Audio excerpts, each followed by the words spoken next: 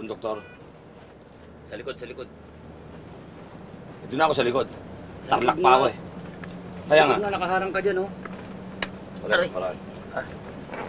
Sorry po, sorry.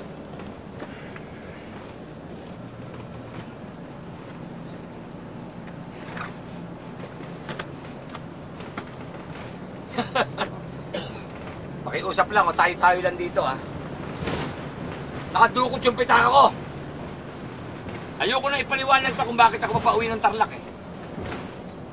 Ngayon, para malitaw lang yung pitaka ko na dumukot sa akin na kung sino man na binabarako ko.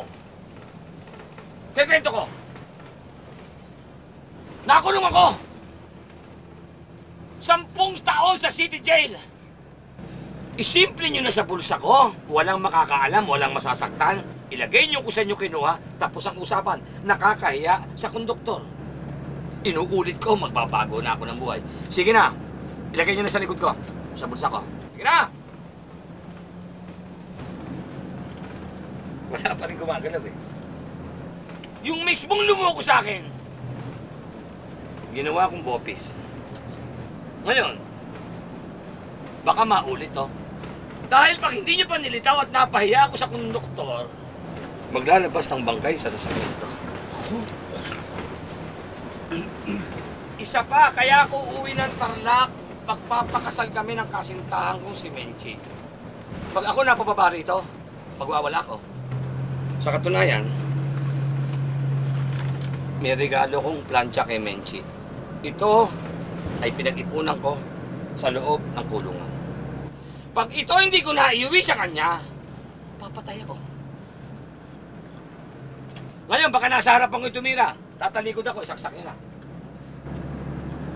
Tingnan niyo na, oh. Wala pa rin. Bueno. Hanggat maaari, ayoko ng bayolente ko eh. Ayaw niyong ilabas yung pitaka ko talaga. Wala bang magkukusa?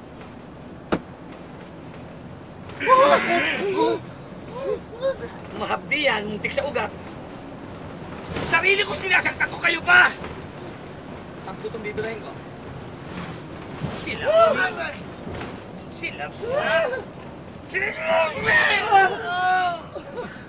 niyo ba yung gamitan ko?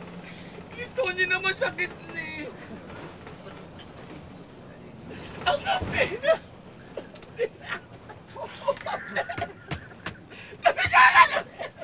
Excuse me. Bayad mo. Hindi sandali, papagamot na lang ako, susunod na ako. Excuse me. Ang api! Ang api!